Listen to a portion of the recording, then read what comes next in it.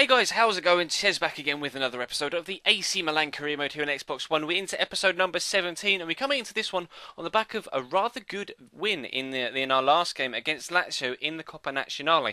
Now, we, we were able to run out with a fantastic second half performance, 4-0 winners in that one, so we're hoping to maintain that run of form in uh, the opening game of this episode. As you can see, we've moved up to second in the league now. We're level on points with Napoli, but uh, just one point behind Roma on, uh, on top of the league. So if we could get a win here against Bologna, that would be absolutely crucial in our charge for Champions League football. And Stephan El Shaarawy tries the finesse shot there. I was aiming for the far top corner. I think it took a deflection off the defender, but it was a great save from the goalkeeper going up to his uh, to his right to, uh, to tip the ball over the bar. The corner comes in. We're going to go up with Victor Ruiz, and unfortunately, it's going to fly over the top of the bar, and uh, we don't get the chance to take the lead in the opening four minutes or so. But we do get a free kick a couple of minutes later. Keisuke Honda scored a screamer of a free kick against Chelsea earlier on in the season. Unfortunately, this time the goalkeeper's able to get across and get his hands to it, and it is a very, very good save. In fact, uh, he's at full stretch, the goalkeeper here, to just get his palms to it, to keep it out and keep us out as well. But Bologna were very, very defensive in this game. They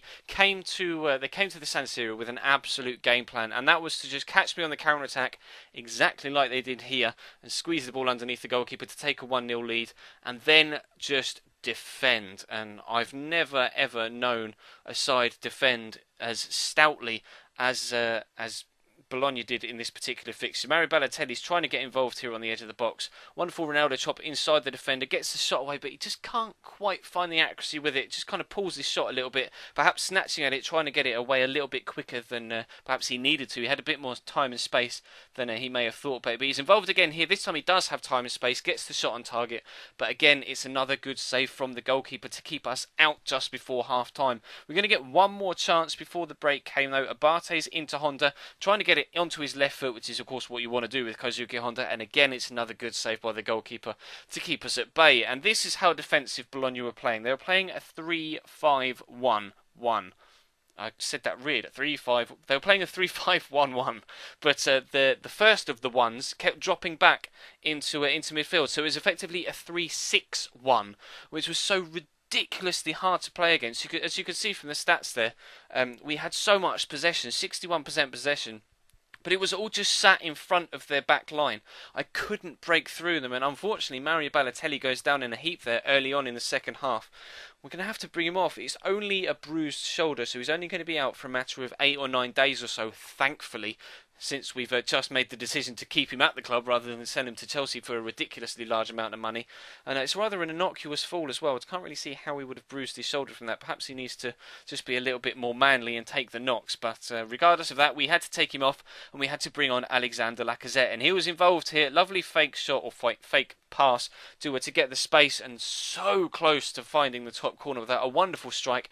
And unfortunately, it flew past the, uh, the top of the goal. We're going to get another chance with him here. The defence are really, really loose with the possession. He's going to smash it from 20 yards, hit the bar, and I, I, where's goal line technology in FIFA, man? That was so, so close. We'll have a look at a replay.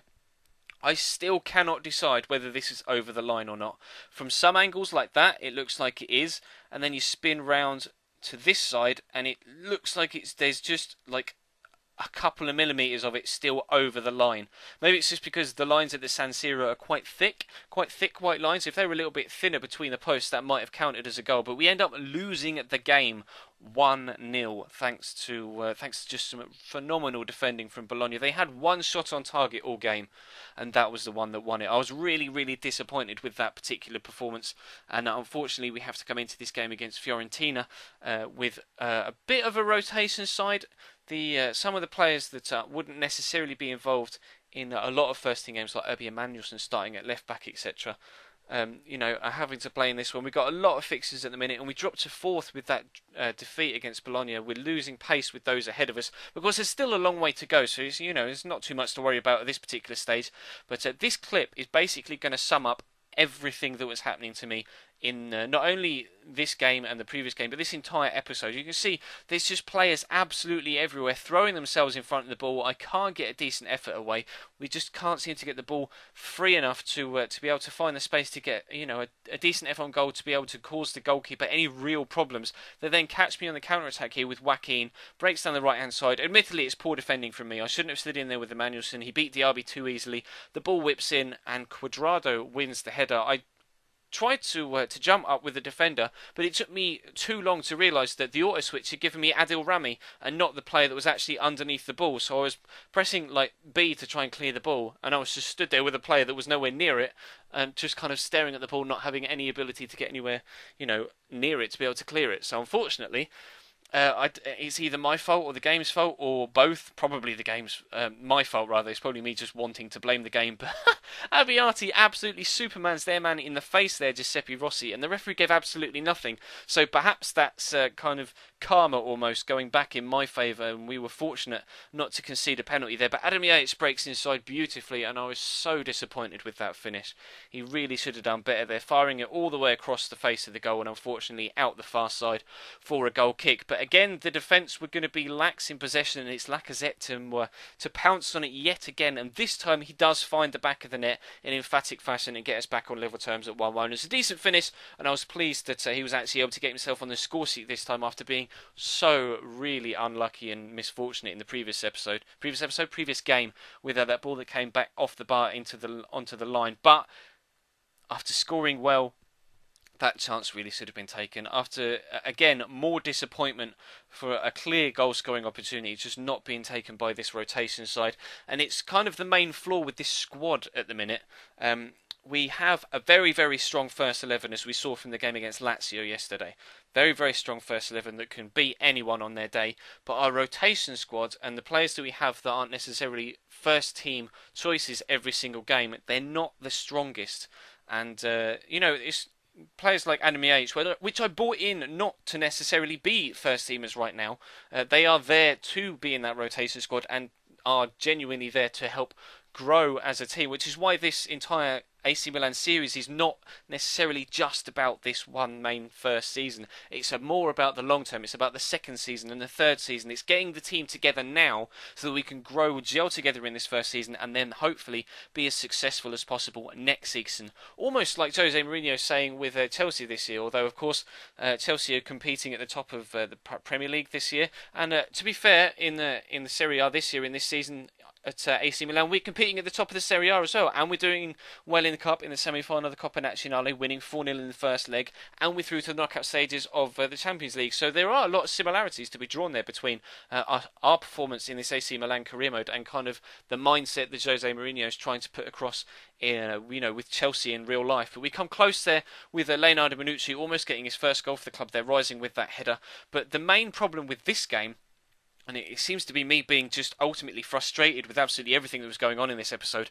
The shadows on the pitch were horrible. My eyes just couldn't cope going from the darkness here, which was fine, and the you know the brightness on the far side, which was fine. But that middle period, because we both got dark tops, white shorts, and dark socks, I was really, really struggling and I just couldn't create anything. It was just ball going backwards and forwards in midfield. There's only three or four highlights from this entire game against Sampdoria, and the main one, this final one, is where they really should have just taken the lead. He's got so much of the goal there to aim at. He misses it. We take a point from this one. So unfortunately, we take two points from a possible nine from this episode, which really has affected our league standing. We'll have a look at it now to be able to see we've dropped to fourth in the table. Everyone around us has a game in hand. We're already four points off Juventus at the top, but we're only one point behind Inter in the Champions League spots. So uh, there's still all to play for for the Champions League qualification, but it depends what happens in the next episode or two. Basically, what happens for the rest of the week uh, in real time in real life the rest of the week the next two or three episodes it depends what happens then in uh, in those videos as to uh, where our domestic season in uh, in league form will be headed for the entirety of this first year. But that's all for this episode, guys. Please do feel free to leave the video a like if you could be so kind. That would be absolutely superb. If you missed the previous episode, there's an annotation on screen on the right hand side to take you to it. Of course, feel free to check the channel page as well. There will be a My Player episode tonight. It is Tuesday, although of course there's a rather large Champions League game with Chelsea on tonight, so I will be watching that. And uh, the episode will go up at nine. And of course, feel free to check your sub boxes after the Champions League football, and it will be there waiting for you. And of course, feel free to subscribe to the channel as well if you haven't already. There's an annotation on screen on the left hand side, a link in the description, and your usual subscribe button. And of course, again, feel free to follow me on Twitter at Chesnoid Gaming. We're pushing 700 followers over there now, so if we could reach that at some point soon, that would be absolutely brilliant. I uh, I love having uh, all the interaction with you guys on Twitter, so the more of you over there, the better as far as I'm concerned. But that's going to bring today's episode to a close, guys. So thank you very much for watching, and I will see you next time.